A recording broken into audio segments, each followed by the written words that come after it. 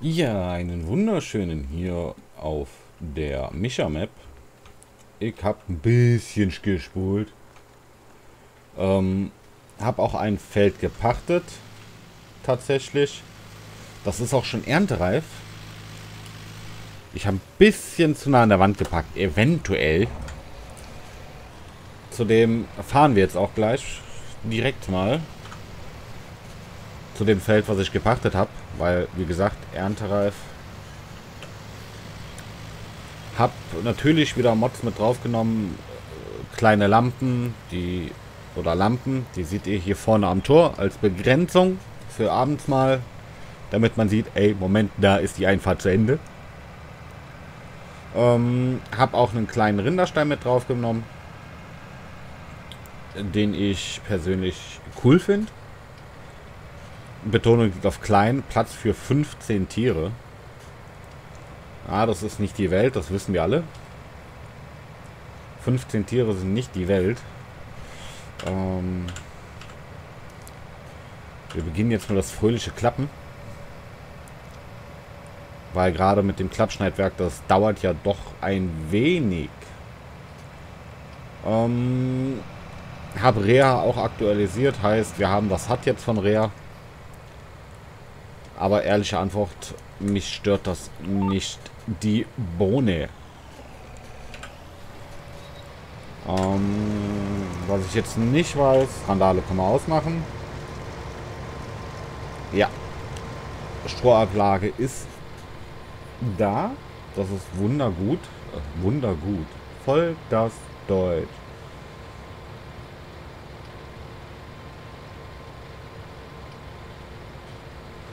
Ähm,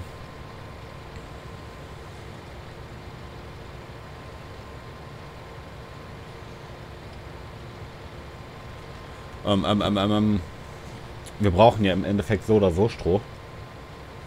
Ich habe die Ballen, die ich äh, für Wiesel S04 gepresst habe, immer noch da hinten rumliegen. Ich habe die immer noch nicht in den Global Market reingeschmissen. Schande über mein Haupt. Schande über mein Haupt. Ähm, Unsere Grasfelder sind auch soweit. Die werden wir also als nächstes abdreschen. Gehe ich ganz, ganz, ganz, ganz stark von aus. Aus dem Zwecke werde ich mir aber noch was mieten müssen. Da habe ich was mit reingenommen, was Kleines, Feines. Muss ich ganz ehrlich sagen. Hat mir sehr gefallen, das Teil.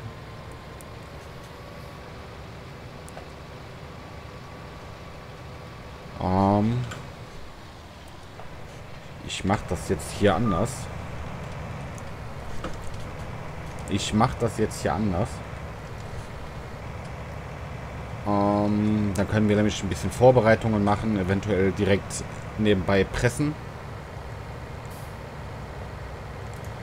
Ähm, lasse ich das ganze Cursplay mal machen. Kursgenerierung. Feld 10. Vorgewende machst du mir 3. Machst du mir scharf. Machst du mir auf 7 Meter? Gib ihm. Ähm ja gut, er nutzt den ganzen Platz halt jetzt idealer aus wie ich. Aber so wirklich was da hinten rausfallen sollte jetzt nicht.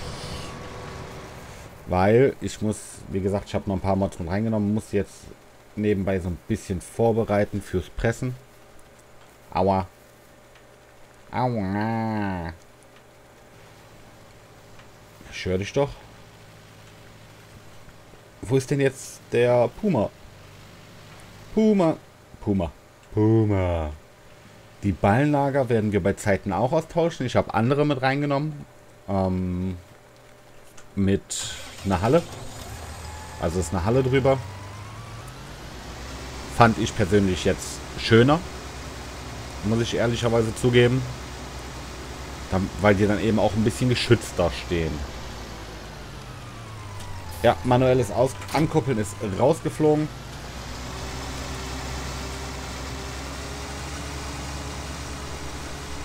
Hatte ich keinen Bock mehr drauf. Sage ich euch so, wie es ist.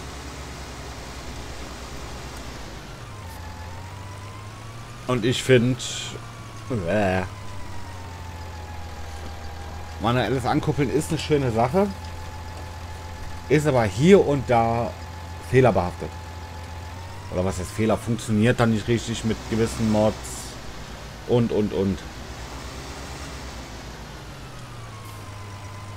Eigentlich könnte ich... Könnte ich auch eben hoch zum Händler fahren.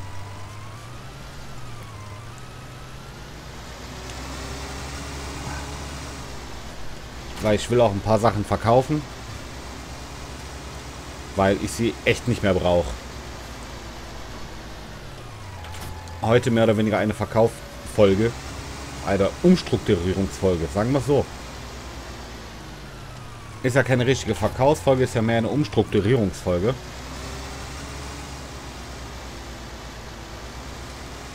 Ähm, die stationäre Ballenpresse habe ich rausgeworfen.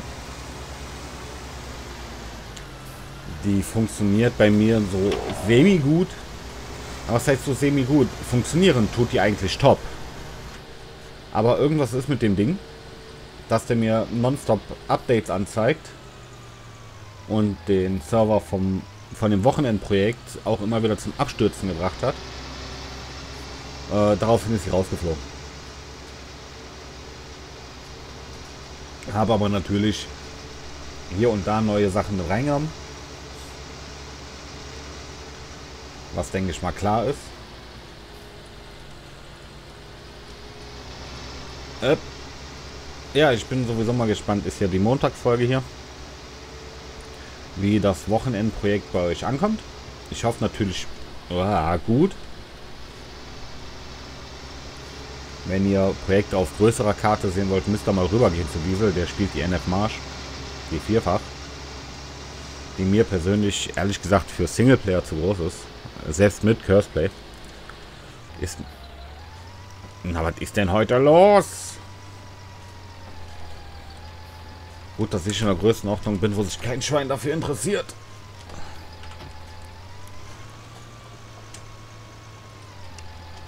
Ähm.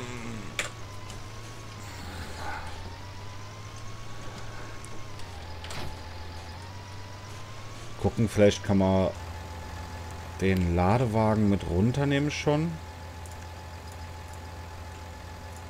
Wäre ja geil, wenn wir den schon mit runternehmen können. Das wäre ja... ich fange mit einem kleinen Ladewagen an. 18.000 Liter an der Zahl, weil unsere Fahrstrecken sind nicht die weitesten. Aber das finde ich genial mit den Zwillingen, dass er schön stabil steht. Ist mit, mache ich persönlich jetzt auch wegen Reha. Sage ich euch so, wie es ist. Ja, dann sagt er nicht ganz so weit ein. Ich meine, Leistung wird hier nicht wirklich benötigt.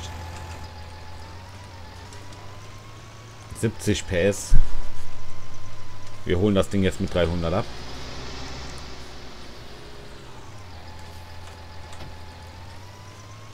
So rein theoretisch wäre jetzt der Rinderstall auch schon drin. Den könnte ich mir jetzt direkt holen. Aber wir brauchen auch noch andere Sachen. Ist ja nicht so, als wäre es jetzt der Rinderstall noch und äh, gut ist. Ich brauche einen Strohhäckselwagen. Also einen Einstreuwagen. Brauche ich definitiv noch. Ich will ja eine Mischfutteranlage hinstellen.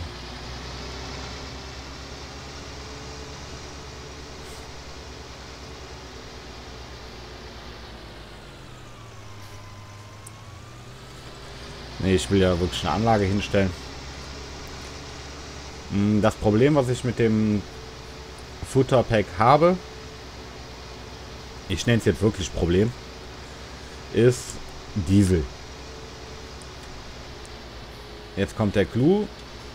Diesel per Fass einfüllen geht bei mir nicht. Schlicht und ergreifend. Ich weiß nicht warum, ich habe keine Ahnung. Ähm, aber ich kann den Diesel über Global Company kaufen. Habe ich natürlich auch gemacht. Steht ja außer Frage. Bei der Heutrocknung jetzt zum Beispiel. Habe ich gemacht. Mhm. Weil andere Wahl hatte ich hier so oder so nicht. Ich brauche ich brauch den Diesel.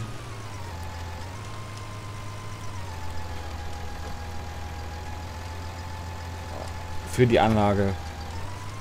Und da blieb mir halt auch einfach nichts anderes übrig. wie den zu kaufen. Ähm, Habe ich also dann auch gemacht. Heißt, die Anlage ist an für sich bereit. Ja, ja, ja, ja, ja, ja, ja, ja. ja. Ähm. Toll. Die Anlage ist an für sich bereit. Brauche ich nur Zeug reinwerfen und gut ist. So, jetzt ist die Frage, benutze ich die Mischfutteranlage auch aus dem Pack? Und schlag mich da auch wieder mit dem Diesel rum? Weil die Anlagen werden von, aus dem Pack alle mit Diesel befeuert. Betonung liegt wirklich auf alle. Ähm, oder nehme ich eine andere, wo ich vielleicht keinen Diesel brauche, wo ich vielleicht kein Theater mit habe. Ist natürlich alles die Frage. Ähm, ich weiß, es gibt wirklich schöne, schöne Anlagen, die auch unter anderem dann mit Gras funktionieren. Was natürlich auch eine feine Nummer wäre. Dann hätte ich das Heu komplett zur Verfügung für die Schafe. Was natürlich jetzt auf der anderen Seite blöd ist, dass ich keine Möglichkeit habe, dieses Heu noch zu pressen. Das ist eine, eine Sache, die mich dann doch wiederum ein bisschen stört. Ich meine, was heißt keine Möglichkeiten? Natürlich habe ich Möglichkeiten. Ich könnte das auch einfach irgendwo schön langziehen und mit der Presse drüber jagen. Könnte ich natürlich auch. Jetzt zu meiner Idee dahingehend. Und ich weiß, dass es vielen wahrscheinlich so semi passen wird. Mir persönlich nämlich auch nur so semi. Ähm, Global Company über Global Company loses Material einfüllen und als Ballen ausgeben lassen. Ist zwar ein Mehraufwand, würde ich aber machen. Würde ich aber zwischen den Folgen machen, muss ich auch ganz klar sagen. Einfach aus dem Grunde, dass es sonst zu öde wird, sage ich mal, wenn ich da 10 Minuten lang mit Ballen hin und her kutschiere. Das wird zu öde. Sage ich so, wie es ist. Das würde ich mir persönlich nicht anschauen. Äh, jetzt muss ich mir gerade, schenke ich mir mal gerade einen Kaffee ein. Bemerke, dass die Bahn schief wird. Äh, Kaffee einschütten, lenken mit dem Bein und äh, ja. Wäre meine Freundin jetzt reingekommen, die hätte sich wahrscheinlich beömmelt. Die hätte sich jetzt wahrscheinlich beömmelt vor Lachen. Also Curseplay ist am Start, hier auch hier auf der kleinen Map. Ähm, Habe ich zuerst überlegt, ob ich nicht mache. Aber gerade für solche Fälle ist das ganz praktisch. Muss ich dann doch gestehen. Ich meine, ich weiß sowieso nicht, ich werde die Strohballen ähm, bis nach der Grasernte liegen lassen. Ich hoffe, dass mir das nicht zu Verhängnis wird. Sag ich so, wie es ist.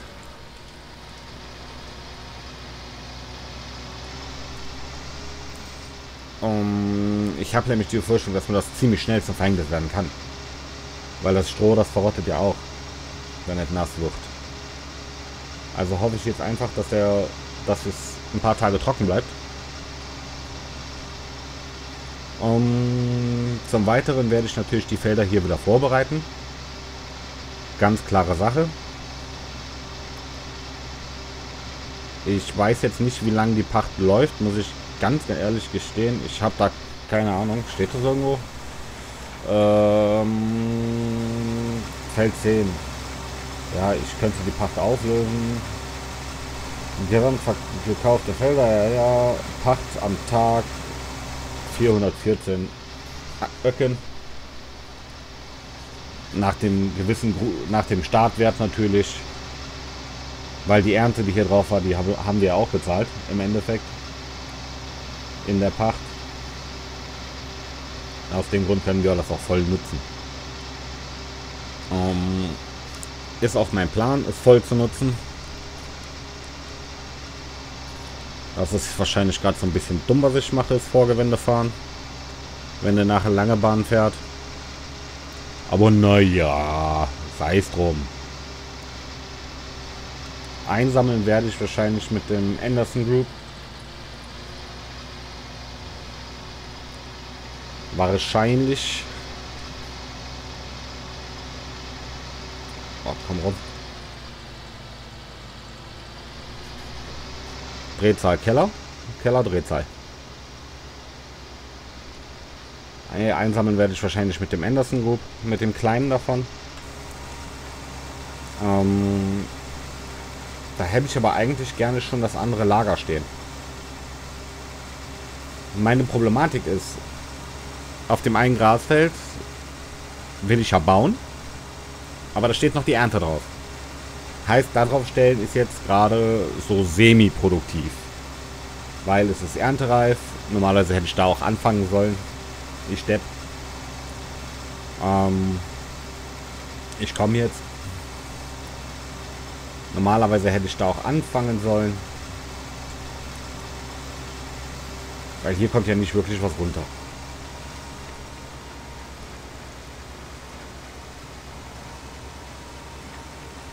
Also hier kommt wirklich nicht viel runter.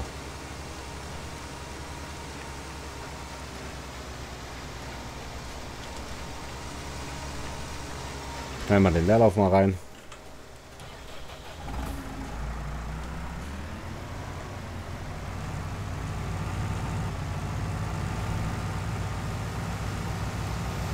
Ah, komm, klappt das scheiß Rohr aus. Muss ich unbedingt mal umstellen. Mache ich gleich auch mal.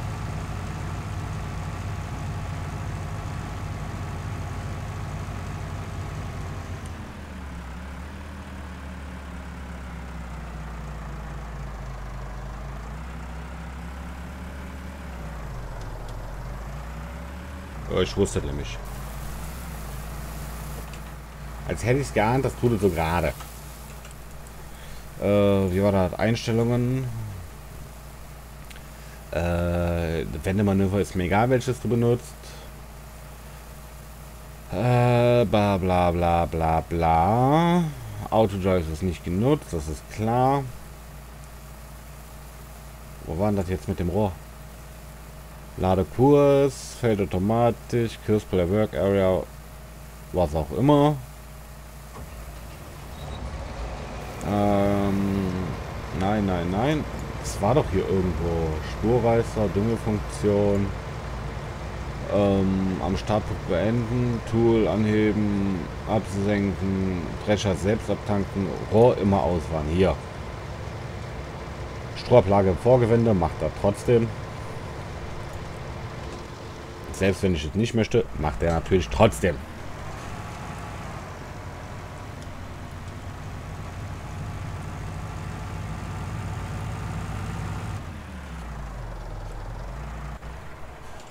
So ist es ja nicht. Ähm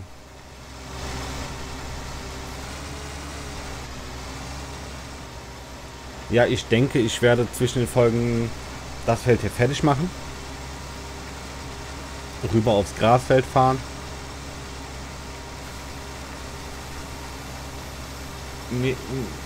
Ja, es ist echt die Frage, wie mache ich das mit der Dingense-Produktion.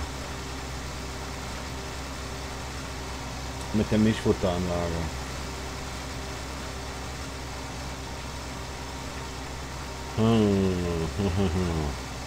Ja, ich glaube, ich werde die vom Tierfutterpack stellen. Die ist zwar größer und sperriger und allem, aber die gefällt mir an für sich ganz gut. Hätte ich jetzt mal Dreieck vorne drauf.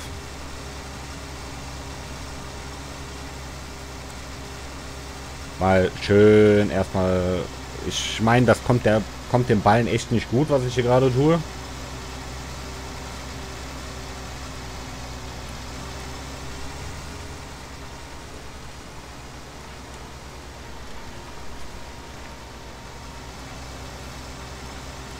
Oh, komm.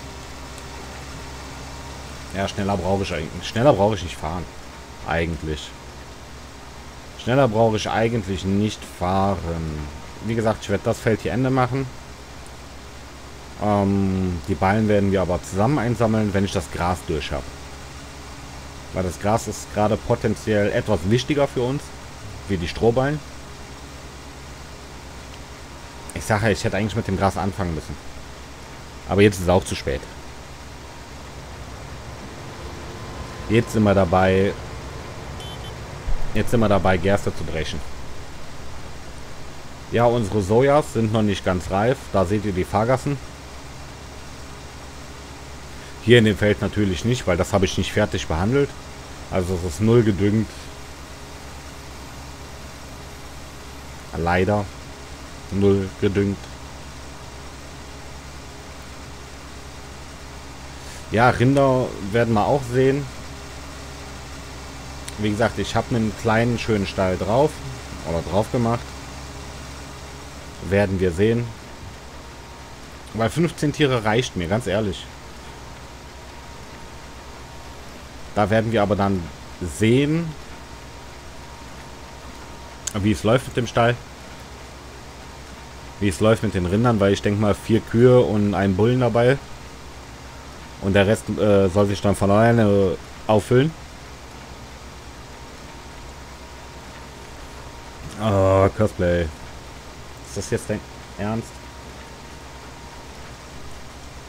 Haben wir hier schon... Jo, hier liegt schon ein Ball. Den wird er jetzt wegschieben.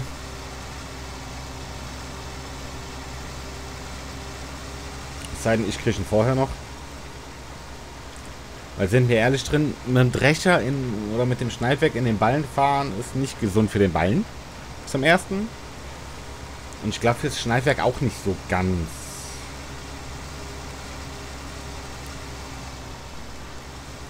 Normalerweise bräuchte ich jetzt einen Frontlader eben, ey.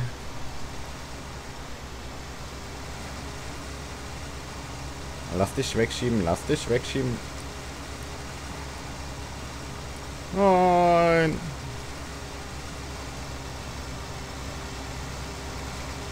Nein. Und eingehakt. Okay.